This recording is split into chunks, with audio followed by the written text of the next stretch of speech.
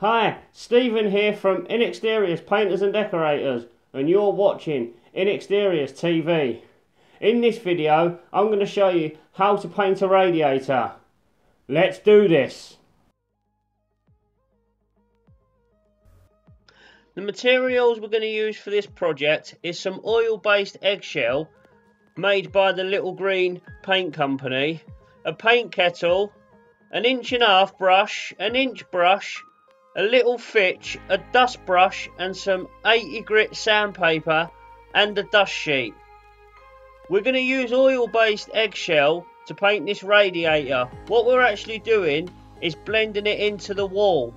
But I'm choosing to use this oil based eggshell rather than the wall paint because it's more durable. What we do next is give this radiator a sand down with the 80 grit sandpaper.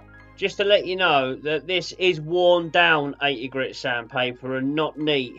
And that way I'm not cutting all the way through the, the coating that's on the radiator. I'm just giving it a good key up ready for its first coat of eggshell.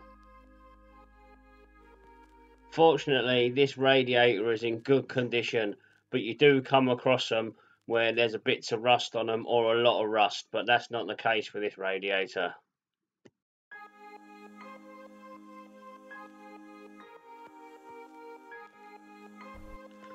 When you finish sanding, give it a good old dust down with a dust brush.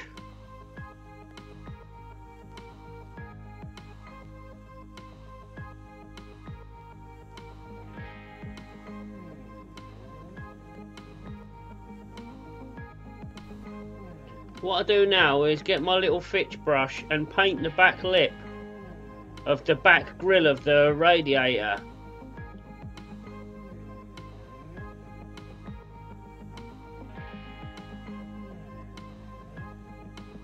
Then I'll get my inch brush and just paint the face bit of the back grill. These are all bits that are on view so they need to be painted.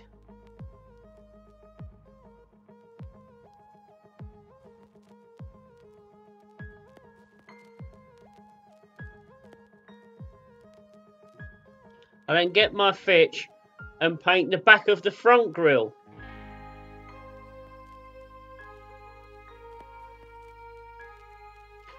Then I'll repeat this process on the other half of the radiator.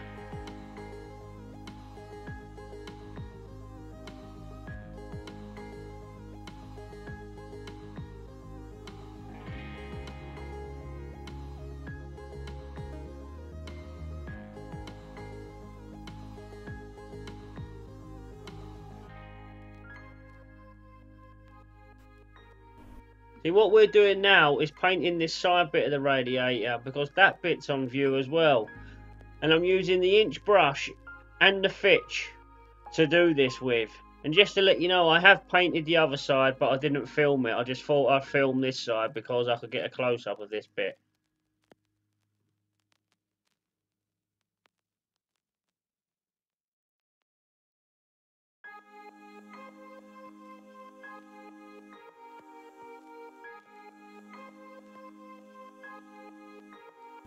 See now we've painted all the backs and sides, it's time to paint the front. What I do is use my inch and a half brush and paint all the top bits in, then all the bottom bits in. Then I fill in the middles and I do this a section at a time, making sure I work out the paint really well and I lay it off up and down.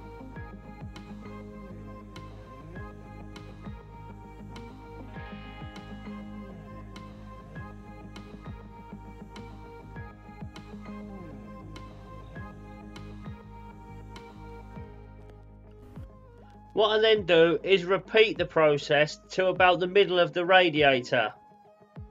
Just doing exactly what we did with the first section. I do this radiator in three sections because with the last section I'll get a bit braver and do a, a lot bigger section.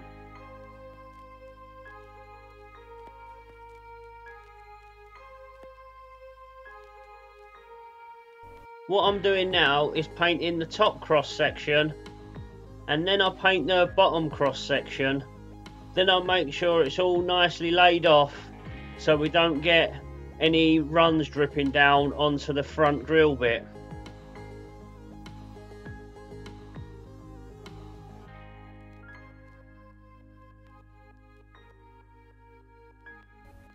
and then we just repeat the process on the second half of the radiator.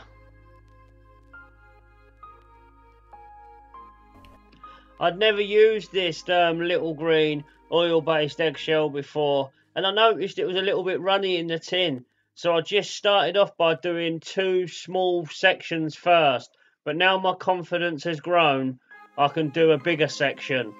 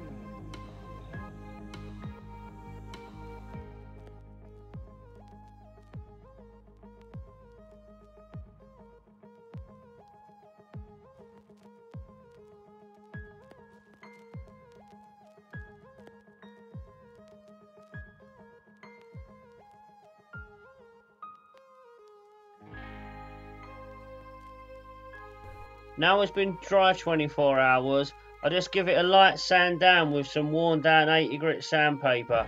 I'm using worn down 80 grit because I couldn't find the 120. And now we've sanded it, what we're going to do is give it its second coat. And then pretty much just repeat the same process of what we did when we put the first coat on it. Just to let you know that when I sanded this, it had been dry for 24 hours, but that this time of year is really, really warm. So if it was winter, it may take 48 hours before you could um, lightly sand it down. So just bear that in mind. If you start to sand it and it's still a bit tacky after 24 hours, just leave it a bit longer.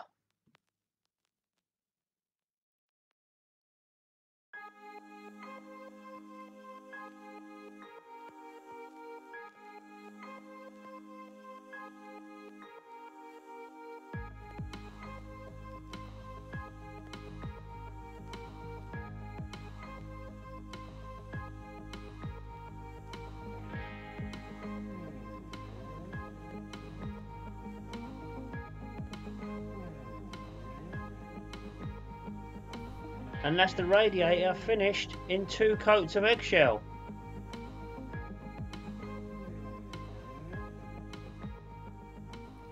And that is how you paint a radiator. If you've got anything from this video, please like, share, subscribe, hit that notification bell and please leave a comment down below. Thanks for watching.